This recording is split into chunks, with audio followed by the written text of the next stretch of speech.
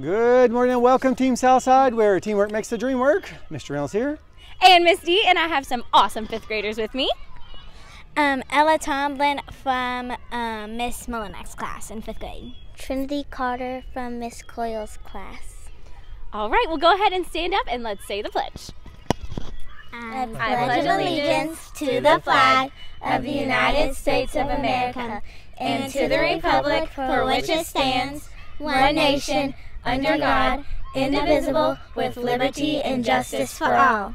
All right, guys, we are halfway through the week, and we just want to give a shout out again to our awesome principals of the day from yesterday. Ella did a great job representing, and so did Briar. We are so proud of them, and it was so nice to have some extra help. Yes, good times. Yeah, Yeah, take a little bit of the burdens off right? of It us. was really nice. So we are so excited about that.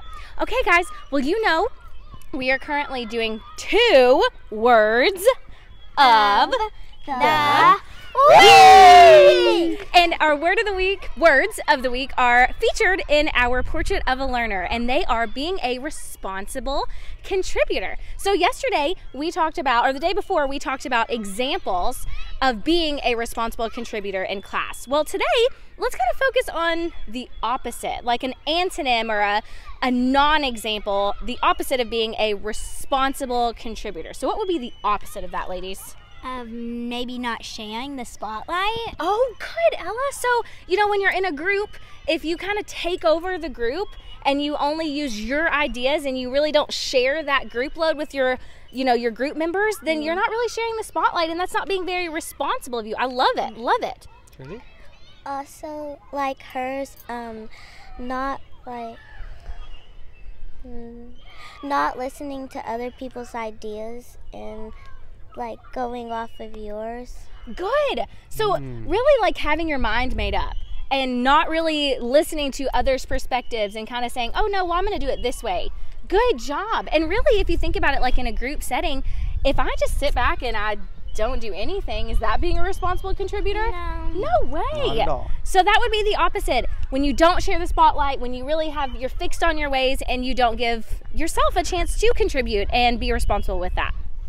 All right, guys, we're so happy that you brought in more money today for our So fundraiser. great. Today was the last collection day. I hope your class is the one that's going to earn too. the camping party. It's going to be so fun. Uh, I'm looking forward to those s'mores for sure. Yes. And just behind us, out here on Friday, it are going to. This is the place where the inflatables are going to be set up, where the dunking booth is going to be, and where the water balloon fight will be.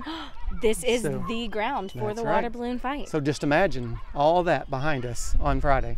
So much fun. We're going to have a great time.